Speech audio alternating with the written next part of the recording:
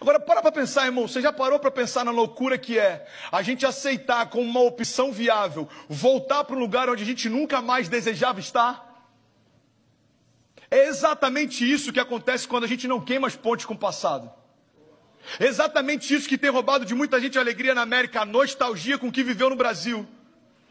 Irmão, a nostalgia é uma versão maquiada do teu passado, segundo memórias seletivas. Você só lembra do que era bom. Aquilo que era ruim você não lembra mais. A minha pergunta é: se era tão bom, por que, que você veio para cá?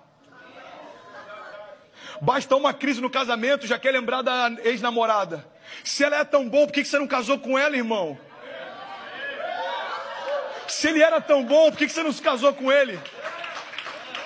Você já parou para pensar que você está num lugar onde um dia você sonhou estar e você pode ter parado de sonhar? Irmão, entenda isso em nome de Jesus. Quando Jesus nos convida a tomar a nossa cruz e seguir Ele, o que Ele está dizendo é o seguinte: ei, lembra que quem você era não existe mais.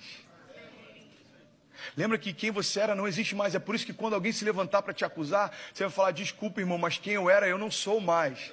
Quando alguém tentar te lembrar do teu passado, você vai falar, desculpa, mas você está falando de um tempo que eu não lembro mais. Por quê? Porque as coisas velhas passaram e em Cristo tudo se fez novo.